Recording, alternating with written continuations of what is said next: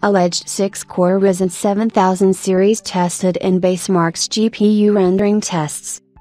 An AMD engineering sample CPU with the model name 1000000059320 Y has appeared in a couple of graphics rendering tests, paired with an NVIDIA RTX A4000 GPU.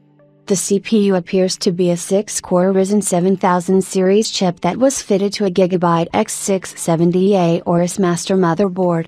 Based on the leaked information that was dug up by Atom underscore Apisak, it has a clock speed of 4.4 GHz, but little else is known about the CPU. Basemark might not be the most widely used test out there and both the tests that were run, were GPU rendering tests.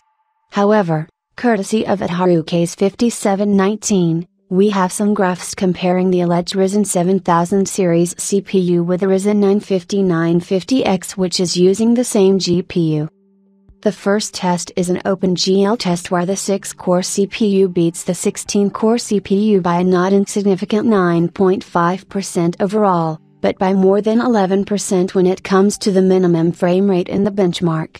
This is a significant performance lead, although in the Vulkan test, the difference is somewhat smaller with a 7% lead for the 6-core CPU.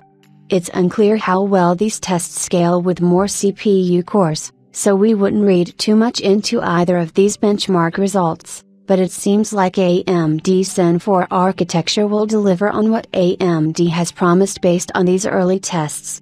We've independently verified that the numbers are in the ballpark of the engineering samples that AMD's partners have today, which means that these numbers haven't been faked in any way. Keep in mind that AMD is still working on its AM5 platform and it's still early days. We understand that AMD has recently fixed a few platform bugs that would have been showstoppers if AMD had launched the AM5 platform with them still present.